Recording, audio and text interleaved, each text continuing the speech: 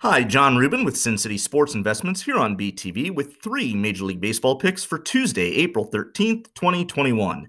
This video is brought to you by Sports Insights Bet Labs.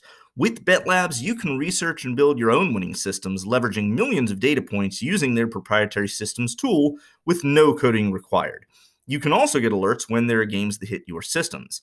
These picks today are based on a system that I built in Bet Labs called Team Hasn't Scored Five Runs in Their Last Five Games.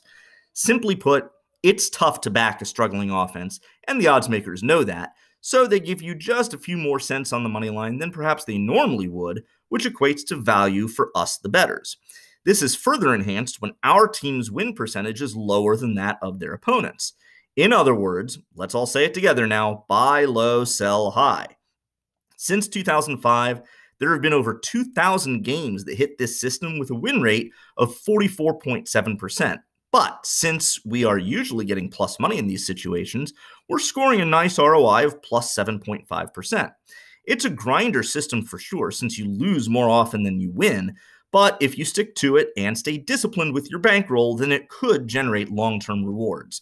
Today, this hits three games Rangers plus 156 versus the Rays, Cubs plus 123 versus the Brewers, finally, Royals plus 123 versus the Angels.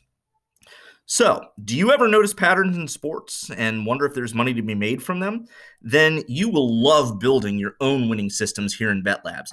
Just sign up using the link in the description below and use the coupon code CINCITY10 to get a 10% discount. That's C I N C I T Y 1 0.